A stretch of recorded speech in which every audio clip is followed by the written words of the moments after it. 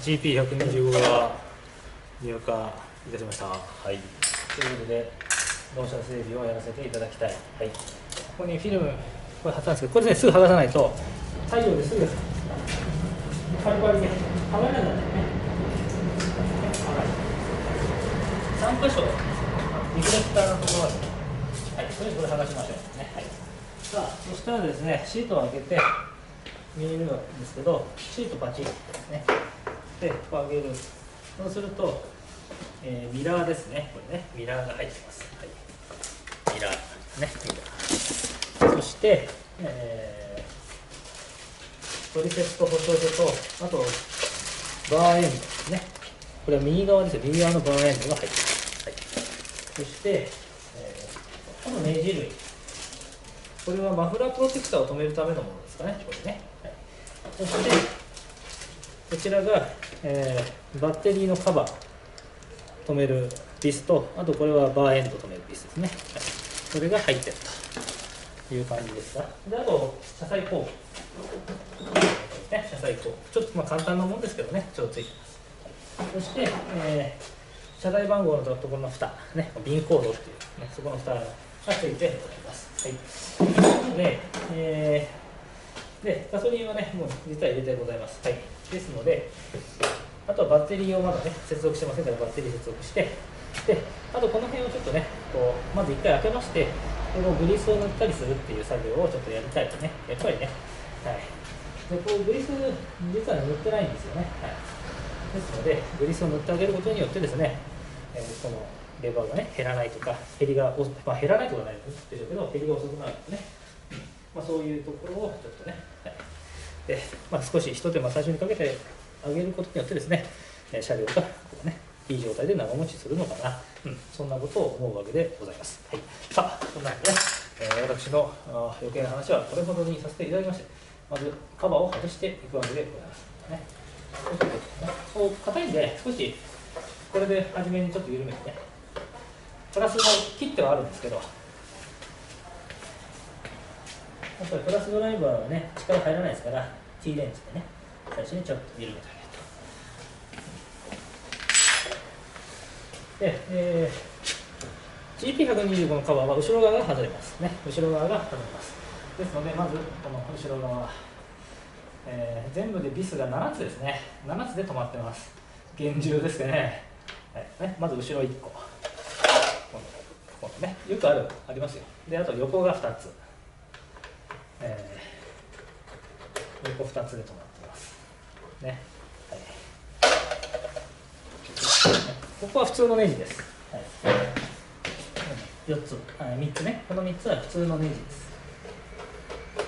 はい。そしてあとタッピングスクリューというのが、で、この小判をこう4箇所、こっち側から止めてありますから、それを外します。ね、本当はこれタッピングスクリューなんで、樹脂の部分にね、直接打ってるんで、あんまりね、脱着は回数は少ない方がいいんですけどね。必ずですね、えーオイル交換じゃないや、えーカバーで覆われちゃってるんで、ここ、どうしてもね、ブレーキフードの交換とか、そういう時が必ず来ますから、その時にね、上か、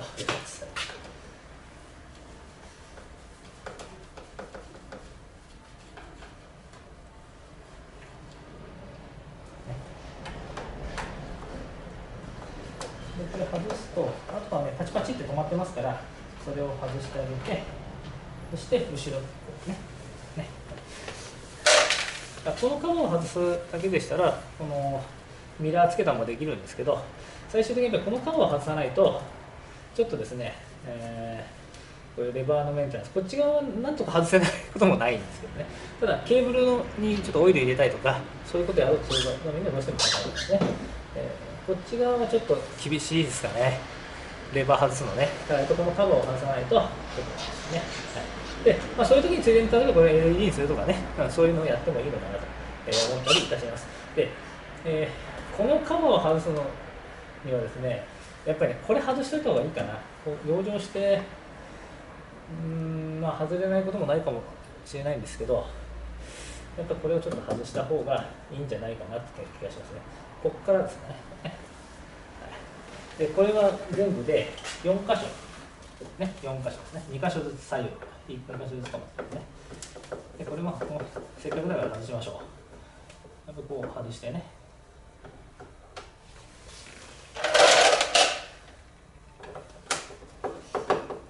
んな感じでカバー類が外れていきます。はい、で、えー、ここの部分、ここ、ここまでありますけど、全部つなぐ、向こうがみんなつながっちゃってます。あと内側もつながってるので、ここの部分をもし交換しようとすると、フロントタイヤ外さなきゃいけないんですね。フロントホイール、フロントホイール外して、で、うまいこと抜くか、まあ、フォークもついてなきゃもっと、まあ、やりやすいんですけど、そんな感じなんですが、ここは大変です、ここ交換するの。はいで後ろからこのまず横外してでこれ外しますけどね、はい。まあ、でもここはあの相当盗難することはないでしょうね。傷とかついたりどうのこうのっていうことでもない限りは。で、えー、これからだんだん寒くなりますからね。寒くなってくるとこういうスクーターこういう樹脂のものが多いものはちょっと心配になってますね、はい、悪い。ね。でこんなふうにね、はい、外します、はい。えー、でこれを外すんですけど、えーね、これね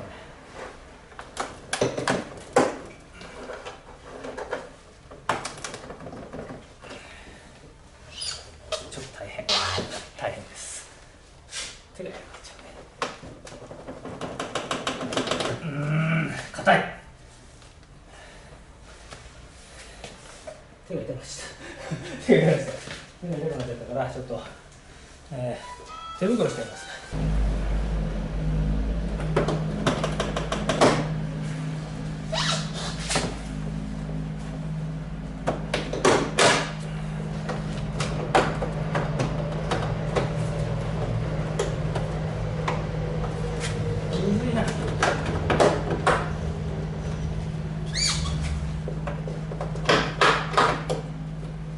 最後のとこ外れないねえー、っと。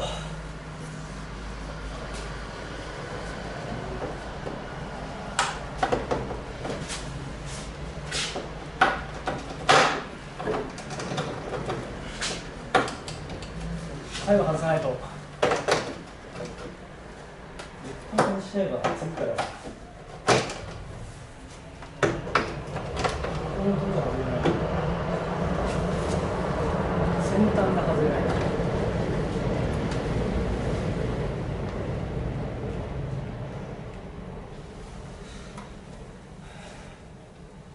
何がいいかな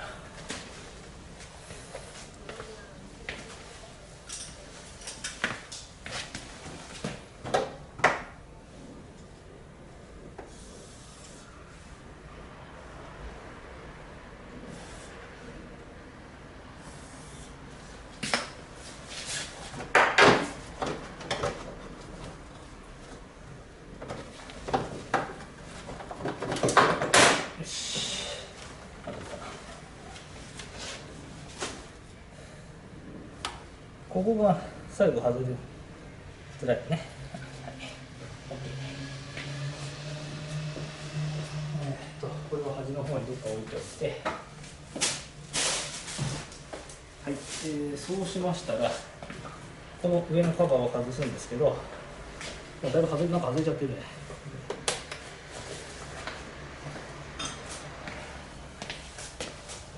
この爪っていうかそれに外れ。なんか差し込んであげればねこうやって外れますんで。でこのままだとこう下げて あれするとここに傷がついちゃうんでちょっと養生をしっかりしてね。でこれテープね。まあいつものことでございます。はい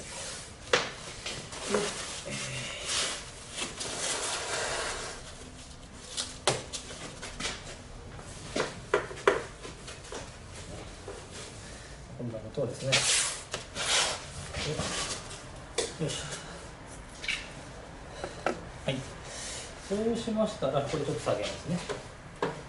で、えーこれを外すのビスがこうこう下が下の方にあるんですけどちょっとこれこれもう少しねガッと下げたいんでですね。あのメーターケーブルがつながっちゃってるんでそれでもっと下げられるんですね。だからこれまずメーターケーブル外します。そうしてあげれば余裕ができるね。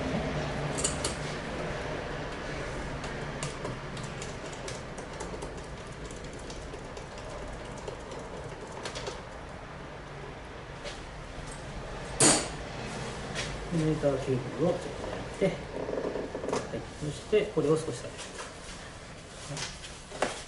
こういうねはい、でビスねでその前にヘッドライトが入から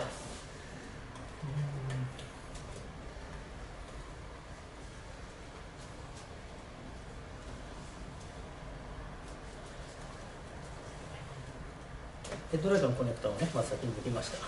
そして、リスを2箇所緩めて、この固定の位置もなんかね、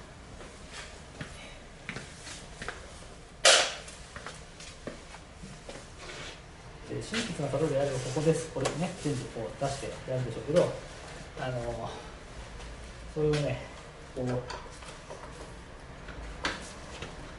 見ていただければ分かると思いますね。あの実際のものね。で、何を言わんとしているのかというと、やっぱりそその部分をもう分からないとなってしまうと、このちょっと見てね、そう。あここだ、こういうところね。うん。そう。本当に分かりづらいところにあるとかそういうのは別なんですけど、見てわかる。で、ここ外れましたんでね、はい、そしたらブレーキレバー、これ随分あれだね、あそこ作ってない。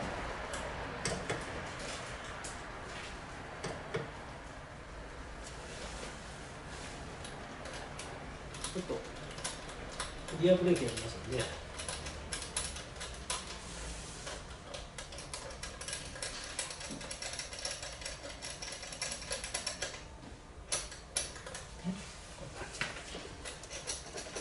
遊びを作りましたね。そしたらこれ外して、でこれもちょっとオイルをちょろちょろっと入れてね、はい、こういう感じでございます。はい。うん、ということで、外装をこれね、外して。ましたが、いかがでしたでしょうか。